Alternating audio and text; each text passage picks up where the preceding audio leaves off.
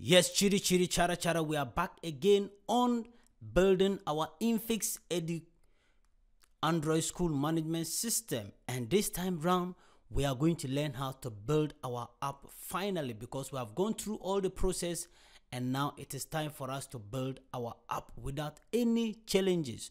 So to build your app, the first thing you need to do is to clean your app first and rebuild your app. And if there are no errors, then you go ahead and build at your APK file. So first of all, we're going to clean our project by going to build.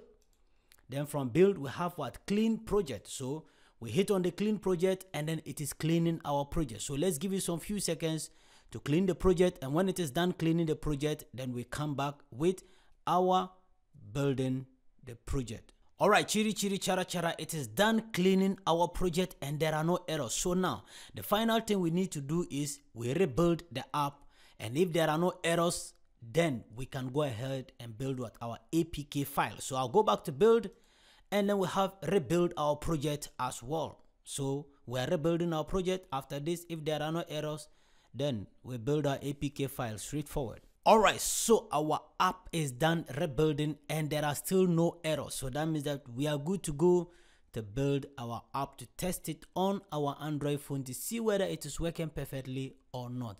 If it is working perfectly, then we can go ahead and create a sign up after that. So we are going to build it right now. So I'll go to build, then I will come to what build bundled stroke APK and then when I go there, then I hit on build what? APK. Build APK. Voila. So it is building our APK file and very soon our APK file will be ready for us to install on our phone for testing purpose. Yeah. So our APK file is done. So we click on locate file. Then when you hit on locate file, then automatically it opens what? Our app dash debug. This is a debug file that we can make changes to we haven't created a sign up yet. So later on we'll be learning how to create a sign up when we install it on our phone and it is working perfectly. So what i'll do is that i'll rename this for identification purpose dvs school. Then i'm now going to copy it onto my phone and install it. And that will be on our next episode. So stay tuned with Da-viruz system on this channel where you can get all the best to learn on your own leisure time step by step on your phone anywhere you go. And please do remember to hit on the subscribe button and then also hit on the notification bell next to subscription. And don't forget to visit my blog for free scripts to test at your fingertips before you buy them from CodeCanyon. I always repeat this.